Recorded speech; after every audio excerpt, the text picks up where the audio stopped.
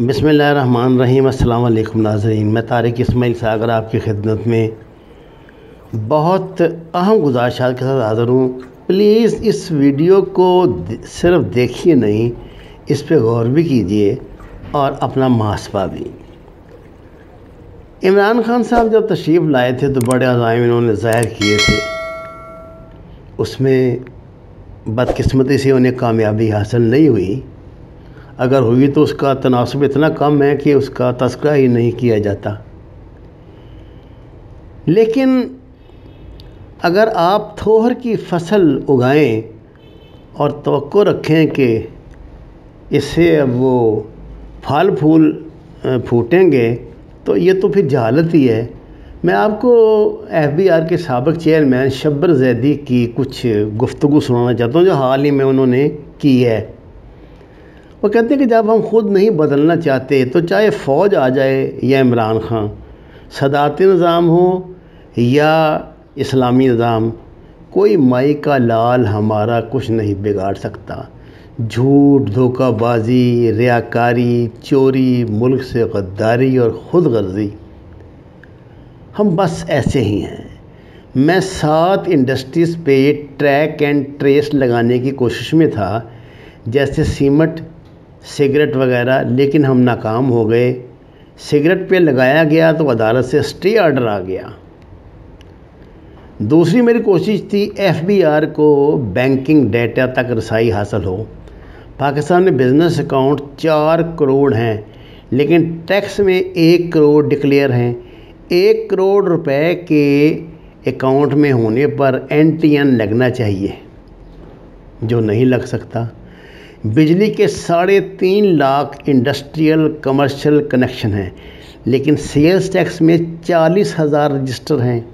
मैंने हर डिस्को को डाटा के लिए ख़त लिखा डाटा नहीं दिया गया।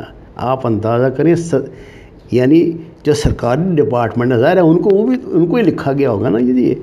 लेकिन उनकी तरफ़ से इन्हें डाटा तक नहीं मिला। ये इल्ला माशाल्लाह है, हमारा ये किरदार। कहते हैं कि लाहौर चैम्बर ऑफ़ कॉमर्स से प्रेशर आना शुरू हो गया कि हाथ हौला रखें। और यही हाल कराची चैम्बर, दूसरे चैम्बर्स का था। ज़रात पाकिस्तान में आड़, आड़ती इतना पावरफुल है जिसकी मर्ज़ी वो कीमत बढ़ाए या कम करे। महँगाई की असल वजह सिर्फ़ आड़ती है। वो इतना ताकतवर इसलिए है कि करप्शन का पैसा इसका पार्किंग लाट है। मेरी आड़तियों से भी मीटिंग हुई थी। मुझे कहा गया, आपके बस का रोग नहीं। अगर अपना हिस्सा आपने लेना है तो बिस्मिल्लाह, नहीं तो अपने घर बैठे।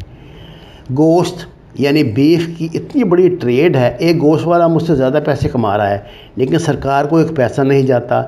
पोल्ट्री किसी की है, सबको पता है पोल्ट्री पे कितना पैसा सरकार को जाता है। पोल्ट्री पे टोटल इनकम टैक्स पूरे पाकिस्तान से 30-40 करोड़ से ज़्यादा नहीं है।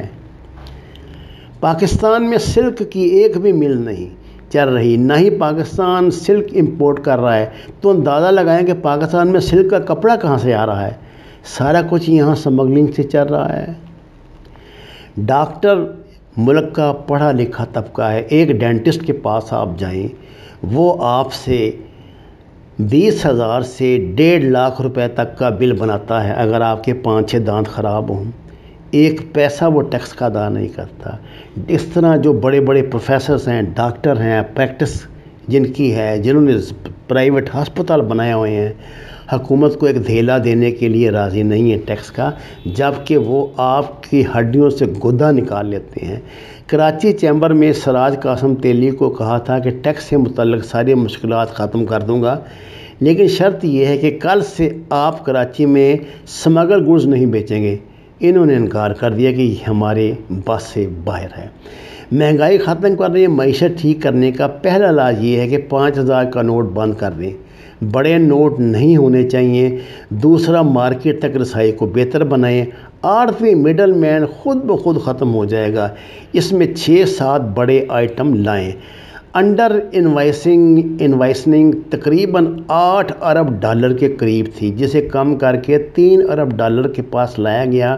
इमरान खान की हुकूमत को अगर कोई क्रेडिट जाता है तो ये है, इस वजह से इम्पोर्टर मुझसे बहुत नाराज़ हुए। मैंने कस्टम क्लियरेंस प्राइस को रिटेल प्राइस कर दिया। मैंने पोजीशन ली, इमरान खान ने भी ली। मेरा सवाल से बड़े ख़र्चे पर शनाख्ती कार्ड के शर्त कहाँ गई? मेरा सवाल है कि बड़े खर्चे पर शनाख्ती कार्ड की शर्त कहाँ गई? वो मामला कहाँ पहुँचा? चाहे इसकी लिमिट पचास हज़ार की बजाय दो लाख कर दें, लेकिन मामला कहाँ पहुँचा है? मैंने एक अकाउंट देखा जिसमें अरबों रुपए आ जा रहे हैं, लेकिन इसका एन क्यों नहीं है? उसका एन नंबर ही नहीं था। स्टेट बैंक पे ये क्यों नहीं करता? जिस अकाउंट में इतनी बड़ी रकूम हो, वो एन रखेगा। लिमिट एक करोड़ कर लें, दस करोड़ कर लें, लेकिन नंबर तो होना चाहिए। जहांगीर तरीन के अलावा किसी सियासतदान की कंपनी लिस्टेड नहीं है। वो लोग डॉक्यूमेंट्स चाहते ही नहीं। मैं ख़बर दे रहा हूँ फर्टिलाइज़र्स डॉक्यूमेंटेड है, लेकिन कोई डीलर रजिस्टर्ड नहीं है। शुगर का की कोई डिस्ट्रीब्यूटर, कोई, शुगर का कोई डिस्ट्रीब्यूटर रजिस्टर्ड नहीं है। मुझे बिज़नेस कम्युनिटी की तरफ़ से बहुत ज़्यादा दबाव का सामना करना पड़ा है। कोई एक फ़ीसद भी डॉक्यूमेंटेशन के लिए इंटरेस्टेड नहीं है। वो हर वो कोशिश करते हैं जिससे डॉक्यूमेंटेशन ना हो। ये इशू मुनज़म और गैर मुनज़म का है कि अगर मैं कंपनी में आगे बिज़नेस करूँगा तो टैक्स रेट भी ज़्यादा होगा रिक्वायरमेंट भी ज़्यादा, परेशानी भी ज़्यादा, इनफरादियत में ये सब नहीं होगा तो ये तस्वर गलत है। बात सियासी हो जाएगी, ज़ाती कारोबार का यहाँ जो सिलसिला है, इसका मंबा नवाज़ शरीफ हैं। इनकी पॉलिसी देख लें, इनके ग्रुप से कोई कंपनी लिमिटेड, लिस्टेड नहीं है। किसी सियासतदान की कंपनी लिस्टेड नहीं सवाए एक जहांगीर तरीन के। इसलिए कि इनको डॉक्यूमेंटेशंस नहीं चाहिए। ये पूरा माफिया ज़िया के दौर में बना है जनरल ज़िया के दौर में, और ये आगे इल्ला माशाल्लाह उसी तरह चल रहा है। कोई दुनिया का टैक्स ऐसा नहीं जो हुकूमत ने पाकिस्तान के नब्बे से पचानवे परसेंट गरीब और सफ़ेद पोशों पे ना लगाया हो। आप अपना बिजली का बिल देख लें, दर्जनों टैक्स होंगे। फ़लाँ चश्मा बराज, फ़लाँ ये फ़लाँ ये फ़लाँ ये ये बिजली पानी से बनी है, इसका टैक्स ये ये बिजली गैस से बनी है, ये पेट्रोल से बनी है। आप क्या मज़ाक है ये? किस तरह का? कोई एक सिस्टम नहीं है, कोई एक तरीके कार नहीं है। ये जो लोग ये जिनकी बड़ी बड़ी मशहूर चने की दुकानें हैं, ये जिनके बड़ी बड़े मशहूर ये निहारियों की दुकानें हैं, जिनकी रोज़ाना सेल एक करोड़ से ज़्यादा हो जाती है। आप इसको मज़ाक ना समझें। एक करोड़ रुपए से ज़्यादा सेल जाती है, जो एक पचास या साठ रुपए एक बड़े प्ले गोश्त की प्लेट पे खर्च करके उसके चार सौ, पाँच सौ, सात सौ तक वसूल करते हैं। कोई है मुनाफे का तस्वर, लेकिन ये नहीं। हाँ आपकी तनख्वाह में से लाजमन वो पैसे कटेंगे डबल रोटी पे हुकूमत टैक्स, जब ये आप नहीं देंगे तो फिर हुकूमत के पास और क्या तरीका है? वो पेट्रोल महँगा करेगी डबल रोटी पे टैक्स लगाएगी, टूथपेस्ट महँगा करेगी, बुरश महँगा करेगी, आपकी सब्ज़ियाँ महँगी होगी। आपको शायद आज भी इस बात का यकीन ना आए कि जो अदरक आप मार्केट में चार सौ रुपये किलो ले रहे हैं, ये अदरक आढ़ती के पास सौ से डेढ़ सौ रुपये में पहुँचता है। लेकिन हमारे पास पहुँच के वो चार सौ रुपये किलो हो जाता है। जो सब्ज़ी वो धड़े के हिसाब से, यानी एक किलो का तो पैमाना ही नहीं, वो पाँच किलो, दस किलो से आगाज़ करते हैं और वो लेते हैं सौ रुपये की। ये जो गोभी है, जब चाहे फ़सल नहीं है, चाहे पुरानी है, दस रुपए की ये मेरे ख्याल पाँच या छः किलो, पाँच किलो करीबन लेते हैं। और आपको यहाँ एक किलो सौ रुपए तक भी बिकी, आप तो खैर खासा रेट कम हो गया है कुछ सब्जियों का ज़रा अभी ज़रा मार्केट कम है।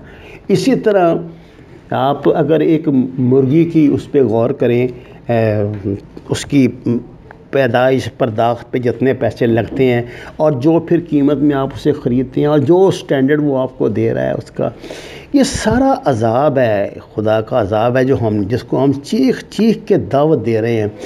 हुकूमत के पास मुझे बताइए, इसके अलावा क्या चाह रहा है कि जब आप इस तरह टैक्स नहीं देंगे तो वो आपसे खाने पीने की अशिया पर टैक्स लगाएगी, चीनी महँगी करेगी, घी महँगा करेगी, और ले दे के अब सिगरेट अगर नशा है तो बुरी बात है, हौसला शिकने के लिए तो ठीक है, लेकिन आप अंदाज़ा करें कि कितने का सिगरेट कास्ट करता है कास्ट करता है, कितने का बिकता है।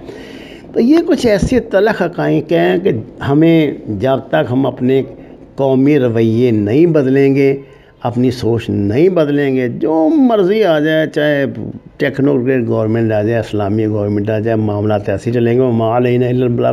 नहीं कर, हम दरख्वास्त है कुरान नमाज़ से हदायत हासिल करें। हमारे चैनल को सब्सक्राइब करें लाइक्स दें और सच के सफ़र में हमारा साथ दिया। आपका बहुत शुक्रिया।